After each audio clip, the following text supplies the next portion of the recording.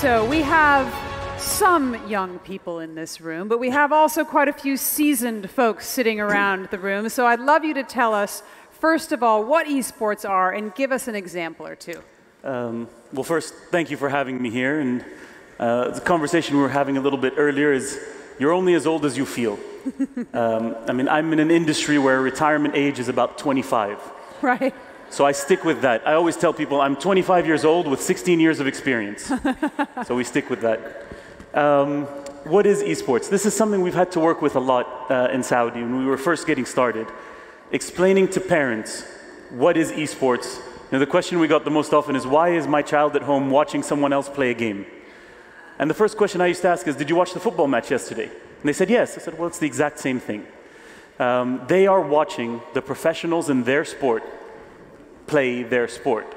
Um, it is more than just sitting down in front of a screen and you know clicking a few buttons. It, it's tactics, it's uh, community, it's social, uh, and it's it's a phenomenon that, I mean, really, as the world grows and as long as we have children, uh, gaming is going to be a part of their lives, and it's just an evolution.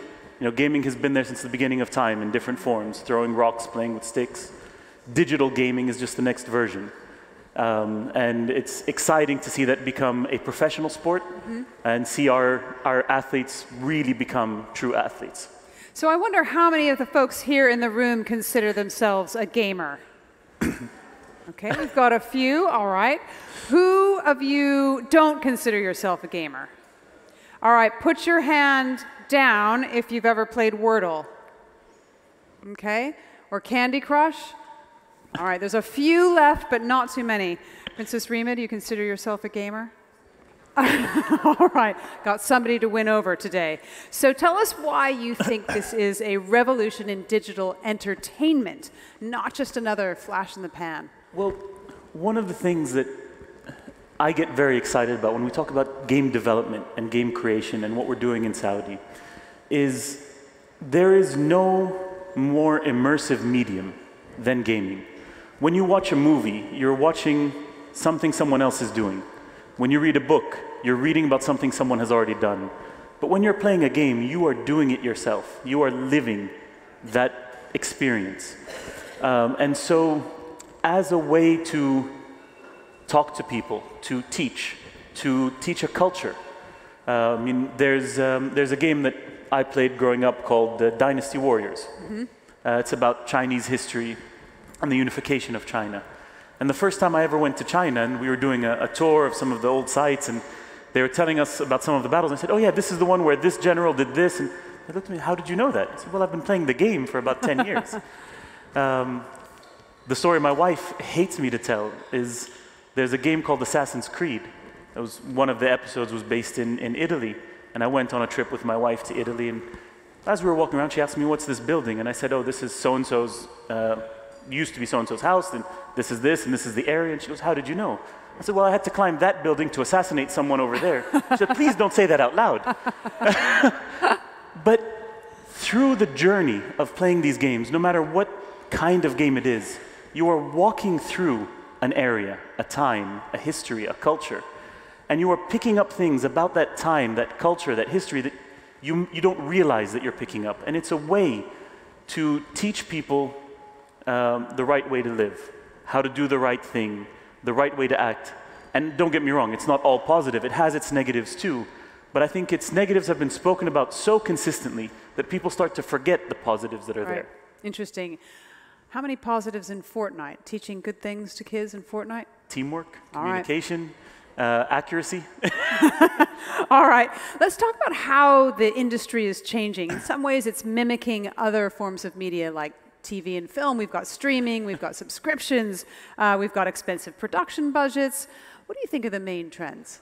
Well, there was a, a large trend of pay to play, where you buy the game, you play it as much as you want, towards free to play, where the business model is more around the advertising and the micro purchases. Um, and we talk about micro purchases, you know, in one to five dollars. And people think, well, how can you make money when you're selling things for that low? And I say there's one of the larger esports tournaments in the world is for Dota 2.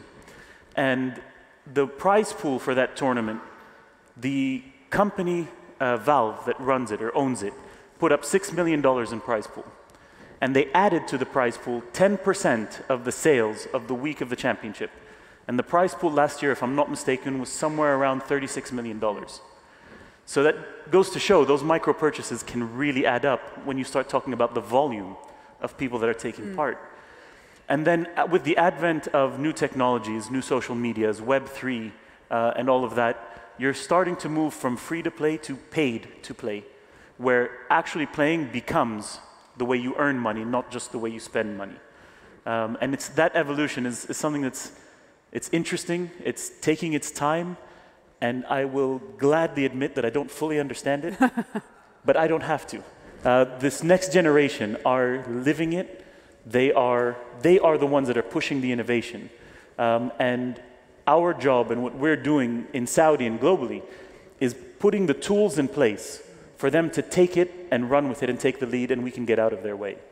It's also a very international industry, right? So in, in, in TV and media, the United States still dominates. I think 17 out of the 20 highest grossing films were American, but in mobile gaming, the top 20 games were made by nine different countries, including China, South Korea, Japan, Israel, with players all over the world. So talk about what kind of opportunities that offers.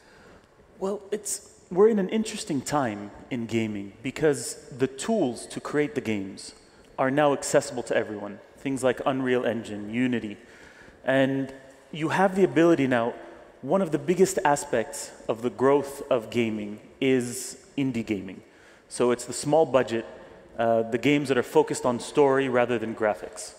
Um, and those are usually then bought up by the big players and then created into the big franchises.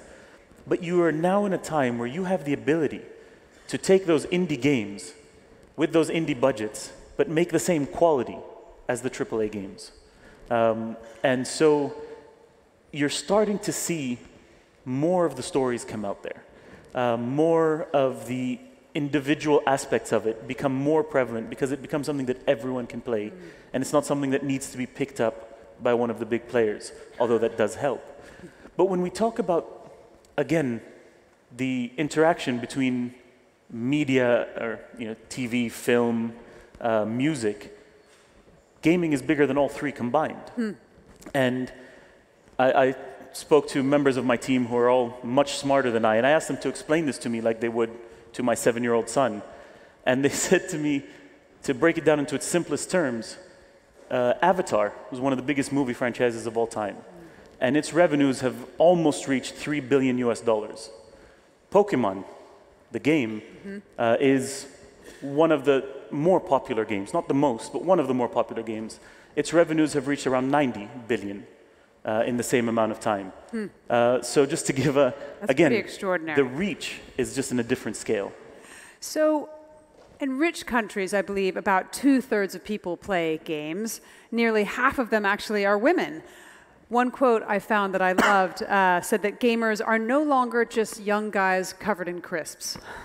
so, but that actually isn't true across the world. I mentioned, you know, the Seoul Game Academy uh, as a place where you can go in South Korea to learn to become a pro gamer. 99% of the students are male. So, how can we make gaming more inclusive?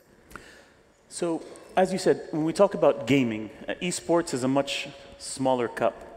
Uh, in gaming, it is pretty equal. Even in Saudi, it's about 48% female, 52% male, if we talk about the gaming community. Uh, similar, uh, it's about 49% when you talk about the online um, uh, personalities and streamers. Uh, it's about 49% female, 51% male. Where we have a lot of room to catch up is in the professional gamers. Okay. Um, there's a lot of room for women to grow in that. And there's a lot of growth that's happened in the last I would say probably five years, and that's worldwide, not just in Saudi. Um, in Saudi, we've had uh, our first national, international champion, uh, Najd Al Fahad, mm. who won the Collegiate FIFA World Championship, um, the Ladies' Championship. And she has, we're, she's one of our role models to showcase that this is a valid career path, not just for our young men, but also for our young women. Mm. And what we need to do is give more room for our young men and women to showcase that they are the heroes of the future and let them be the voice of the next generation. And once um, our young men and women see that this is a valid career path, and their parents see that this is a valid career path, and we can showcase to them the healthy way to do it and the healthy way to move forward. And we focus on that consistently uh, in Saudi. We talk about not just the physical health, the mental health, and the social health. Because again, we're talking about a group of young men and women who are at the, the ripe age when they learn their social skills and their social cues. So, how can we use this as a tool to give them a career for the future, and not just as a professional esports player, but in the industry? Game creation, storytelling, production, uh, law, uh, finance. I mean, there's so many different avenues that literally anything you have a passion for, anything that you enjoy doing, there's a career path within gaming for it. Interesting. So, for me, gaming is the place where the metaverse becomes exact. You just know what the metaverse is when you think about gaming. And I wonder what esports and the metaverse future fused looks like. Well, this is the metaverse is always an interesting conversation for me because it's very confusing. Uh, there's lots of different people who talk about the metaverse in different terms from different points of view. But when you talk about gaming, I asked someone to explain to me in the simplest terms what is a metaverse. And they said it's when your online world is equal to or more important than your real, your real world. Mm. So that's commerce, that's social, that's you know, family, friends. And when you talk about that in gaming, we've been there for 20 plus years, where people have had their commerce in gaming, they've had their lives, their social lives, their education, um, using gaming as education tools. And so the other aspect of the metaverse, when you talk about the investment and you talk about buying property and you know, the, these big brands and everything that's happening in the metaverse, they're at one level and everyone else is over here. Right. And we're slowly inching together. But until those two places meet, where the mass, which are generally speaking the gamers, reach that, that platform and the, the conversation up here comes down to the, the level where everyone can participate, that's when you'll start to see the boom. Uh, and th- what's taking us there is the advent of Web3 gaming, which is, again, the advent of paid to play, where your career now is playing, not just streaming and doing other things. Um, and it becomes a way to really democratize the income that is generated from gaming. Just briefly talk a little bit more about Web3 and the opportunities it'll bring. Well, there's, um, there's a few companies that I've been talking to, again, to understand more. And the opportunity in Web3 gaming is to, again, build that community from end to end, and it's through the blockchain. Rather than focusing on cryptocurrency, they focus on the blockchain, where everything is connected, and you can really create that, that system where you as a gamer, you as a seller, you as a producer can really benefit from the whole chain. And where that starts to bring people together is right now, for example, if you are a um, call a League of Legends player, they have what they call skins that you purchase, so you can essentially dress your player in the way that you see fit and customize your player. But there are similar games, Dota and among others, where the metaverse and Web3 can start to change things is you can create something, a skin, in League of Legends, but sell it to someone who plays Dota 2, mm. which is two separate publishers, two separate platforms. But now you have that interaction, that communication. We're not quite there yet, but once you have that, once it all becomes one metaverse, for no better way to call it, that's where everyone can start to grow together and it becomes everyone can participate uh, rather than just being niche clans or niche groups in separate, uh, separate universes. Fantastic. Well, I look forward to hearing about Gamers 8 for in 2023 and hearing who wins that. So thank you very much, Royal Highness, and please let's give him a huge round of applause. Thank you. Thank you. Thanks. Thank you.